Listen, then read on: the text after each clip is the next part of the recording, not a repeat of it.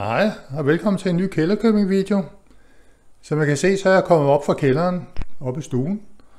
Og det er fordi, vi skal i dag tale om øh, mine to dioramaer. Det ene diorama, som I ser her, det er det nye diorama med, med øh, Car Motion biler, Fisman Car Motion biler, og de er styret af Windigibet. Og det andet diorama, det er måske et nogen kender, det er Ulykken i Kælderkøbing, som er Magnorace cykler og ambulancen. Med hensyn til det nye Car Motion anlæg her, så var det egentlig meningen, at i første omgang så tænker jeg, at det må være fint til demoformål, men bare en, øh, en øh, bar krydsfinerplade.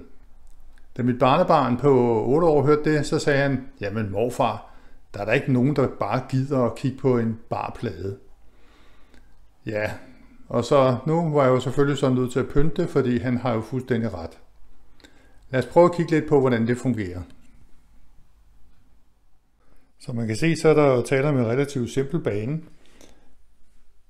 Banen kører, kommer ind her, forbi benzinskiltet, og ind til en lille tankstation. Der er så et sporskifte her, så man kan enten køre til venstre eller køre til højre ind på tanken.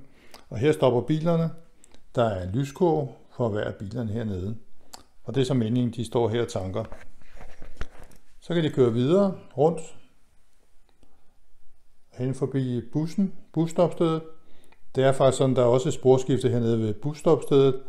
Det bruger vi ikke lige i øjeblikket, fordi vi har ikke nogen øh, car motion bus, men det kommer nok en dag, og så er det forberedt, og der er også sensorer hernede. Så kører bilerne videre hen her, og de vælger at køre ind til højre eller køre til venstre, hvor der nu er plads. Så det bliver styret af Windicavet fuldstændig som hvis det var en modeljernbane. Som man øh, måske kan se, når vi ser det tættere på, så er der for enden af alle de lige strækninger, der er der en øh, infrarød pære, som gør, at man kan styre bilerne fra Windigipad. De er gemt inde i træer og gemt forskellige steder inde bag folkevognsrobrød og andre steder. Og rundt omkring i banen, der ligger der nogle små sensorer og nogle små read-kontakter, så vi ved, hvor vi er henne.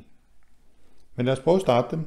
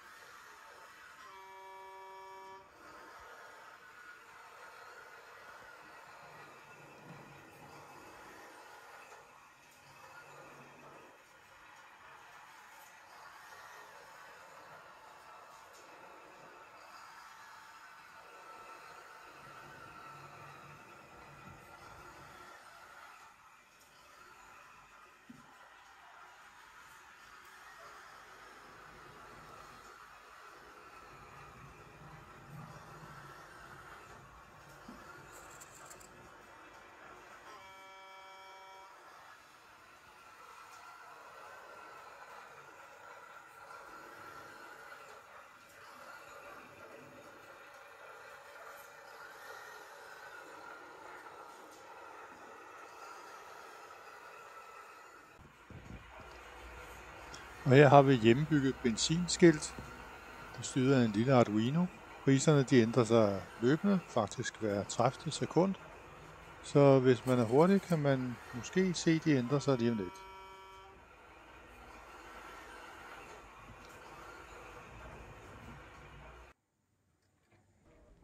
Og her er der fest og glade dage og masser af øl, så vidt jeg kan se.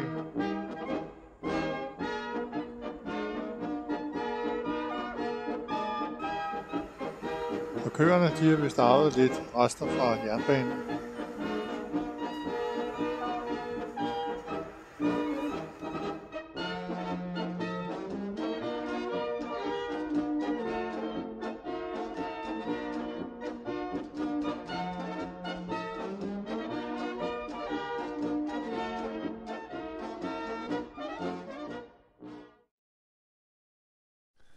Jeg har lavet sådan et lille stykke prøvebane her, så man kan se de forskellige faser af, hvordan banen er bygget op. Så hvis vi starter hernede i enden, Den plade, jeg brugte øh, til det her, det er 12 mm krydsfiner. Og jeg starter med at fræse ud her til magnetbåndet. En øh, 3,2 mm rille har jeg fræset her, og cirka 1,2 mm dyb, så magnetbånd lige bliver dækket.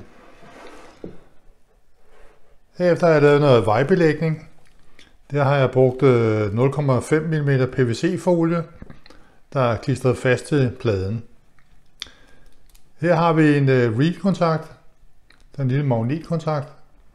Når bilen kører hen over magnettråden her, så påvirker den så read-kontakten, således at kontakten sluttes, og det kan sendes videre til tilbagemeldingssystemet. Så ved vi, hvor bilen befinder sig.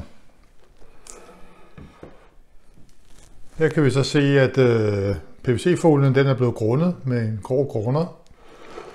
Og efterfølgende så har den så fået Øh, det er jo et fantastisk kunstværk, det her vejbane, jeg har lavet med lidt sort og lidt grå og lidt hvid spredt ud, så det ligner jo en hel vejbane.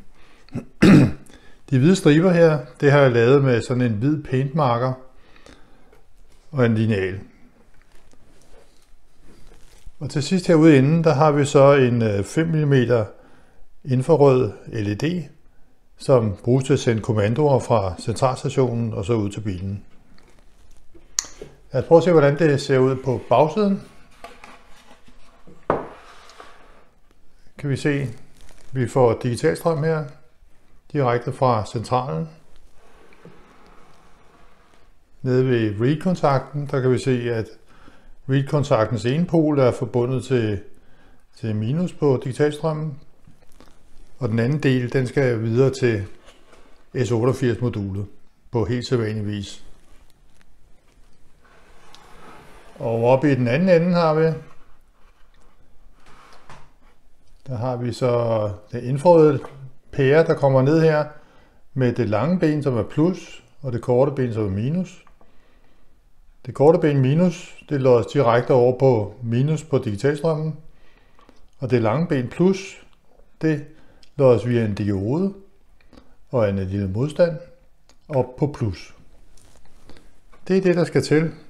Så kan man øh, styre sin bil direkte fra sin centralstation, og man kan bestemme, hvor den er via read-kontakten.